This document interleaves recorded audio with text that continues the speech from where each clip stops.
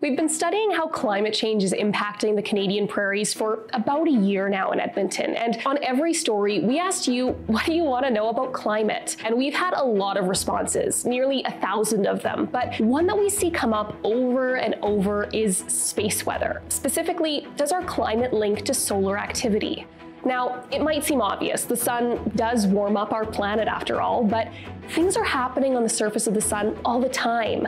Do those natural variations have an impact on weather on Earth? And if so, is the sun responsible for climate change?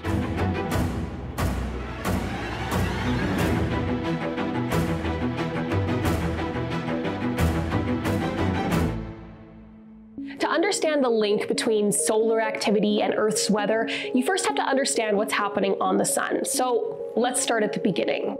The sun has stormy seasons and quieter seasons, just like we have here on Earth. We measure the sun's activity based on a roughly 11 year cycle, with a peak of activity of the sun happening right in the middle of that cycle. Now, during those peaks, we generally see more explosions on the surface of the sun. They can blast what are called coronal mass ejections into space, which sometimes collide with Earth, which interacts with our magnetic field and atmosphere. That's space weather. Solar cycles vary, with some peaks being very strong and some being quieter. Now, right now, we are in solar cycle 25 and just climbing out of minimum activity toward the stormy season set to peak in 2025. Now, every solar cycle, we get forecasts for what we should expect to happen on the surface of the sun and how that might impact us here, but it's kind of like the early days of weather forecasting with a lot of wiggle room. That being said, experts say this solar cycle looks to be stronger than the last and potentially the strongest this millennium. So, what will that mean for us here on Earth? And the big question does it affect our climate? There is no doubt that the sun affects our weather. It drives life here on Earth, but the connection between space weather and climate is not as well understood. Most of the time, our planet is protected from solar activity by our magnetic field, but if a storm is strong enough, it can break through and interact with our atmosphere. During particularly strong storms, radiation can make it into the atmosphere around 50 to 60 kilometers from the surface. When that happens, the characteristics of the atmosphere change, which could impact our climate and weather here on the ground. So here we are at the big question. What about climate change? That's something that I asked John Manuel, Senior Program Scientist of Solar Terrestrial Sciences at the Canadian Space Agency. Space weather does affect atmospheric weather, or perhaps more accurate would be to say space weather affects Earth climate, that there is a connection. It's not a climate change type connection, but that there's an interaction between the weather in space and, and on Earth. So there is a line, and the scientific community is well in agreement. According to NASA, scientists agree that the solar cycle is not driving the changes in Earth's climate that we're currently seeing.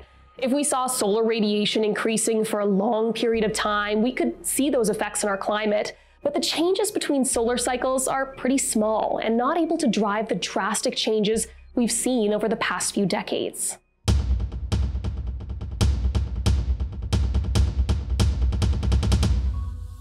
But it's still a bit of a puzzle. If space weather affects our atmosphere, what does it mean for our climate?